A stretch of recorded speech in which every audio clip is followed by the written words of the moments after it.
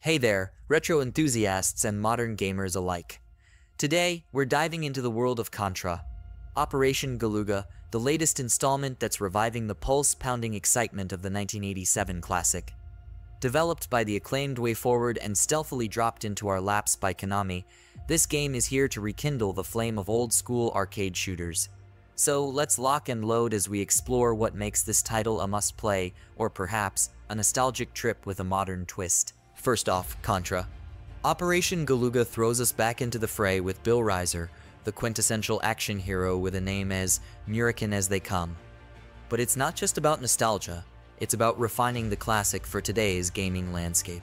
With its roots firmly planted in the arcade era, Operation Galuga keeps the adrenaline high without compromising on its heritage.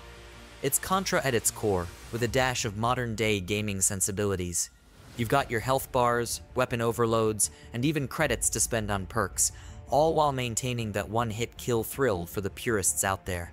The gameplay? It's classic Contra with a twist. You're not getting a twin stick shooter here. It's all about that nostalgic run and gun style, updated with today's gamers in mind.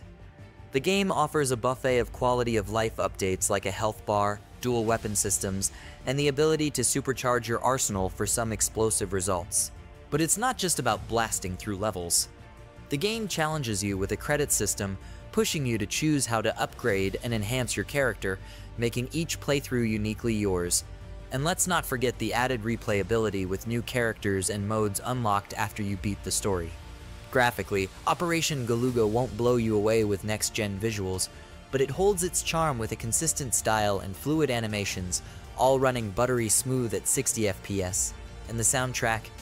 It's a modern twist on the classic Contra beats, accompanied by surprisingly solid voice acting that brings the action to life. Contra. Operation Galuga might be a brief affair, but it's packed with reasons to keep you coming back. Whether you're a hardcore fan eager to test your mettle, or a newcomer looking to experience a gaming legend reborn, there's plenty to love here. It's a respectful homage that also dares to reinvent, balancing the essence of Contra with the expectations of the modern gamer. So, should you grab your plasma rifle and jump into the action?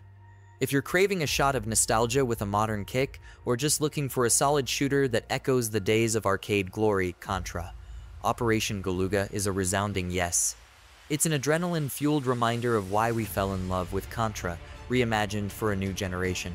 That's our take on Contra, Operation Galuga, blending the past and present into one explosive experience. If you've had a chance to play it, drop your thoughts in the comments below.